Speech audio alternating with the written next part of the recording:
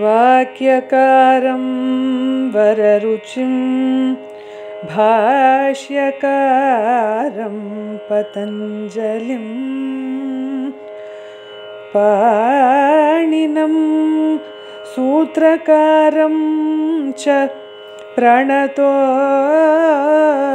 मुनित्रयम्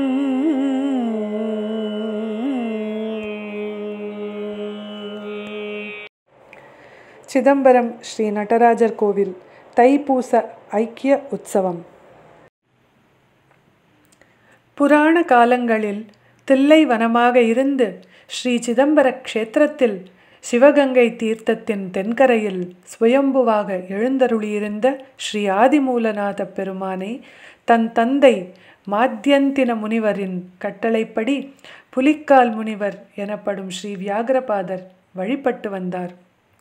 அச்சமயத்தில் ஸ்ரீ வைகுண்டத்தில் ஆயிரம் தலைகள் கொண்ட அந்த சயனத்தில் பள்ளி கொண்டிருந்த ஸ்ரீ விஷ்ணுவானவர் ஸ்ரீ பரமேஸ்வரனின் ஆனந்த நடனத்தை மானசமாக மனக்கண்களால் தரிசித்ததால் அவ்வானந்தத்தின் சுமையால் மிகவும் கனத்தார். அதனால் வருத்தமுற்ற அனந்தன் அதன் காரணத்தை கேட்டு ஆச்சரியப்பட்டு தானும் பரமசிவனின் ஆனந்த நடனத்தை காண ஆசைப்பட்டார். தம் மகனை தம்முடைய பணியில் இருத்திவிட்டு முன்னொரு காலத்தில் பரமசிவனால் தனக்கு அருள் பெற்ற பதஞ்சலி என்ற ஐந்தலை நாகம் உருவத்துடன் தில்லைக்கு வந்து வியாகரபாதருடன் இணைந்து நெடுங்காலம் இருவரும் தவம் இயற்றினார்கள்.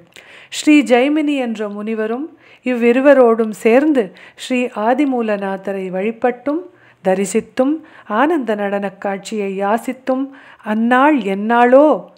என்று யோசித்தும் தவம் செய்தார்கள்.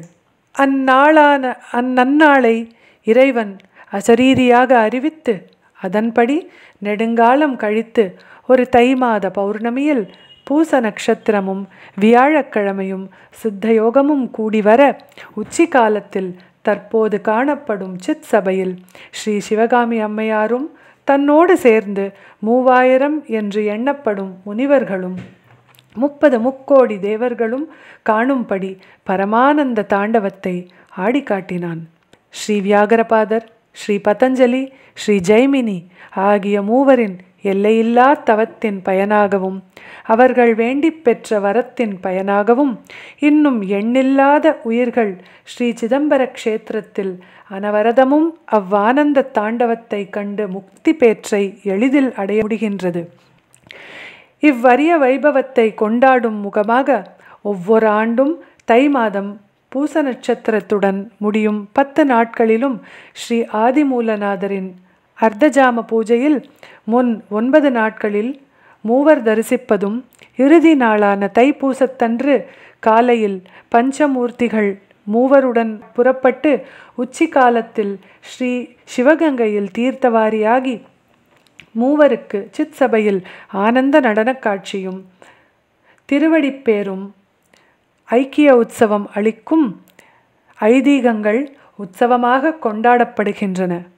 தைப்பூசத்தன்று உச்சி காலமே நேரடியாக முதல் தரிசனம் என்பதால் அதுவரை சபை மூடியிருக்கும். அன்னப்பாவாடை நிவேதனமாகி பக்தர்களுக்கு வழங்கப்படும். அன்று இரவு மீண்டும் பஞ்சமூர்த்திகள் வீதி உலா உண்டு. ஸ்ரீ சிதம்பர க்ஷேத்திரத்துடன் பிரத்யேகமான சிறப்பு தொடர்பு கொண்டாலும் ஸ்ரீ ஆனந்த நடராஜமூர்த்தி தன் ஆனந்த நடனத்தை வெளிப்படுத்திய அருட்சிறப்பு கொண்டதுமான தைப்பூச திருநாளன்று ஸ்ரீ சிவகங்கையில் தீர்த்தவாரி உற்சவத்தின் போது நீராடியும் உச்சி காலத்தில் மும்முனிவர்களோடும் ஸ்ரீ ஆனந்த நடராஜ பிரபுவை தரிசித்தும் காலை இரவு இருவேளைகளிலும் ஸ்ரீ பஞ்சமூர்த்தி வீதி உலாவை கண்டு மகிழ்ந்தும் எம்பெருமானின் அன்னப்பிரசாதத்தை உண்டு மகிழ்ந்தும். எல்லாம் வல்ல ஸ்ரீ சித் சபேசன் திருவருளால் இம்மையிலும் மறுமையிலும் எல்லா நன்மைகளையும் எல்லா மக்களும் பெற்றுய வேண்டுகிறோம். இங்கனம் சிதம்பரம் ஸ்ரீ நடராஜர் கோவில் தீட்சிதர்